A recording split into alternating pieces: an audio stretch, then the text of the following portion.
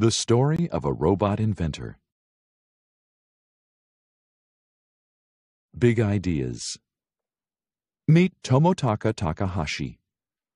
He invents unusual robots. How did he get started? Mr. Takahashi was born in Japan in 1975. As a child, he played with blocks. He used his imagination to make all sorts of forms and shapes. Japan. Later, he read comic books about robots. One of the robots looked like a real child.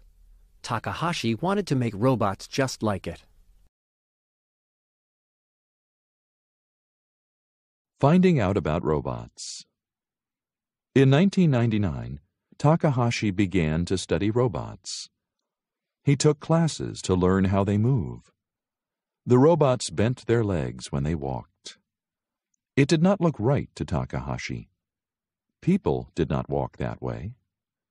Then Takahashi had an idea. He made a better robot.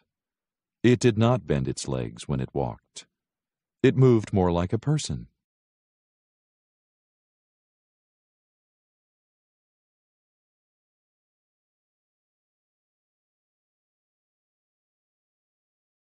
Making Better Robots In 2003, Takahashi started his own company.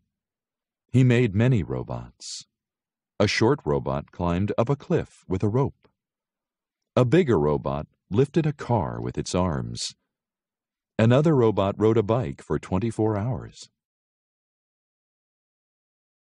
Takahashi began to put his robots in contests. He made three robots for a sports race in Hawaii in 2011. The first robot had to swim. The second robot had to ride a bike. The third robot had to run. The robots had to do these tasks for a week. For the race, there were many problems to solve. Takahashi made the swimming robot waterproof. He gave it arms like fins to help it swim faster. Another robot was able to ride its bike for 100 miles without braking. The third robot ran for 26 miles. What will Takahashi invent next? Will his robots fly and soar? Will they be his finest? We can only guess. We must wait and see. Tomotaka Takahashi is sure of one thing. His robots will do more and more.